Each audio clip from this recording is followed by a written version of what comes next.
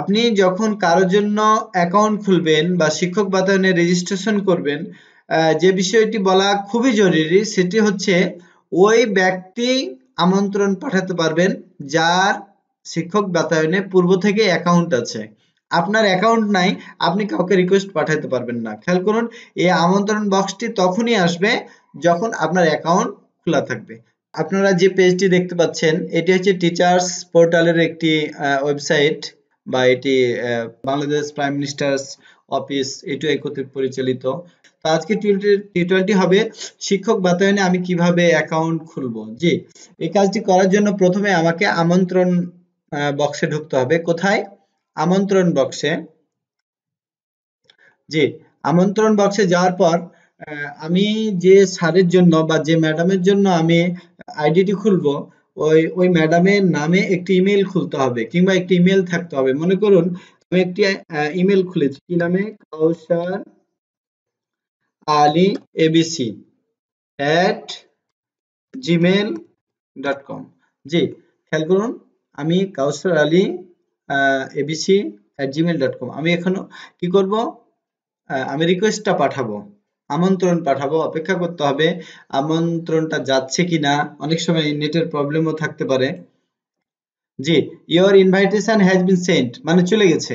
খেয়াল করুন, আমি যে ইমেলে পাঠাবো, ওই ইমেলটা অবশ্যই আমি ওপেন করে রাখব আরেকটি ইয়াতি খেয়াল করুন, জি, আমি অলরেডি কি?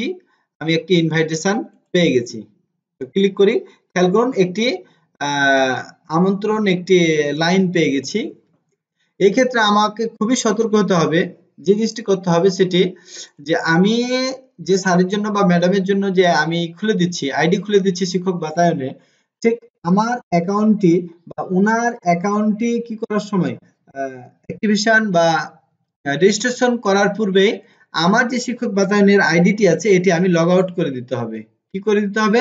লগ আউট এটি আমি ক্যান্সেল করে দিলাম। এবার আমি ইমেলে চলে আসি। এবার আমি লিঙ্কে ক্লিক করলাম। এই জিনিসটি কিন্তু খুব খেয়াল রাখতে হবে। আমার অ্যাকাউন্টে যেন লগ ইন অবস্থায় না থাকে। খেয়াল করুন, আমি যে সারের জন্য আমি আইডি খুলছি সেই আইডি নাম দিলাম আমি কাউসার আলী এবিসি আমি স্পেস দিতে পারি, আমি নাম চেঞ্জ করতে পারি as like the best as like the best আমি যেটা ইচ্ছা সেটা করতে পারি। আর আমার ইমেলটা হচ্ছে এটা। পাসওয়ার্ড আমি আমার ইচ্ছা মতো দিব। জি, আমি একটি পাসওয়ার্ড দিলাম।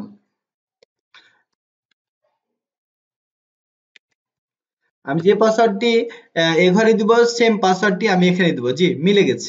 এবার খেয়াল করুন, সম্পূর্ণ নাম ইংরেজিতে, অবশ্যই। A W S A R Kausar Ali Kausar Ali হ্যাঁ সম্পূর্ণ নাম আমার কি? কাউসার আলী।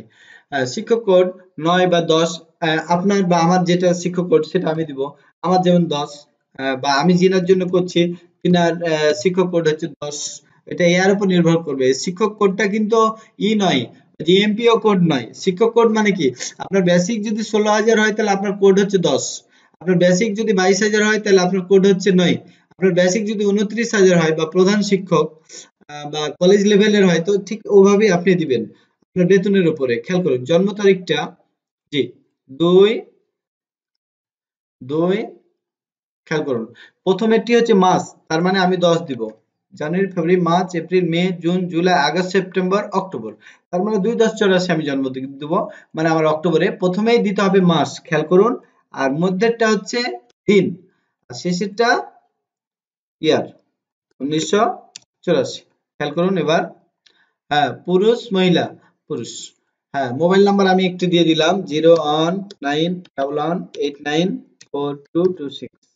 আমি একটা দিয়ে দিলাম আর কি। হ্যাঁ অবশ্য আমি একটি কি দিব? প্রোফাইল পিকচার দিব। জি, আমি এটি দিলাম।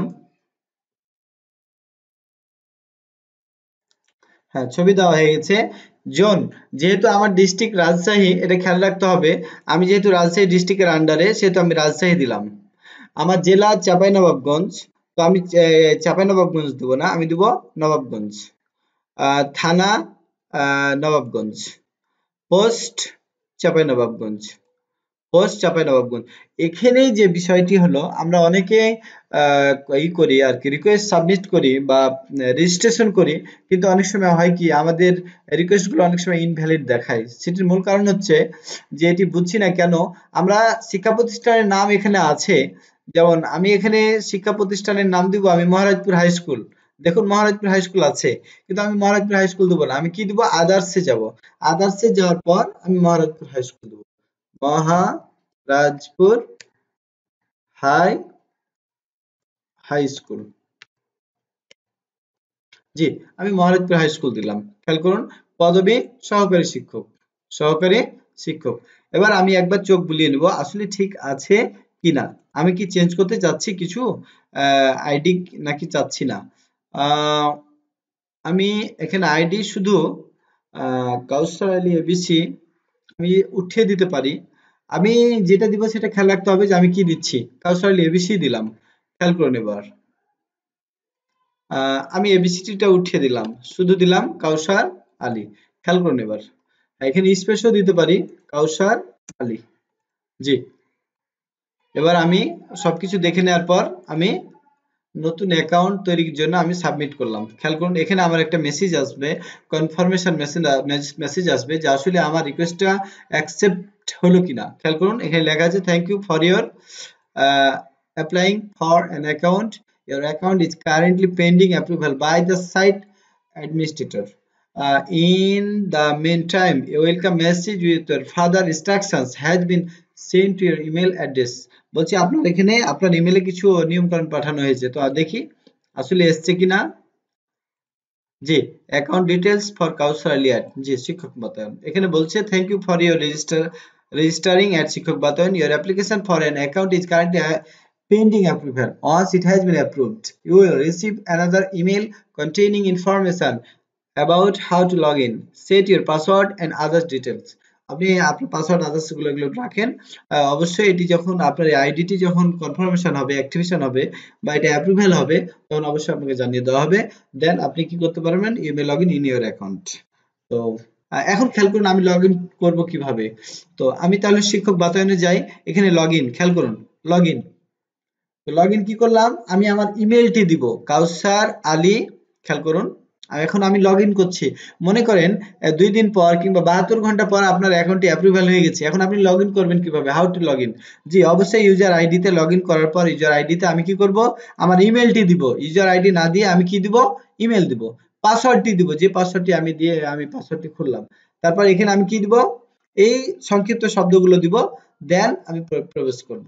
তো আমি আমার আইডিতে প্রবেশ করছি। আইডি নাম্বার দিয়েছি। আমার আইডি হচ্ছে কাউসার আলী চাপাই।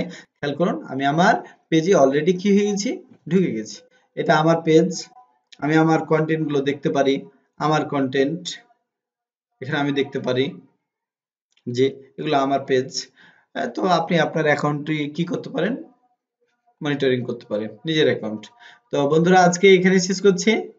আবার কথা হবে। ভালো থাকবেন।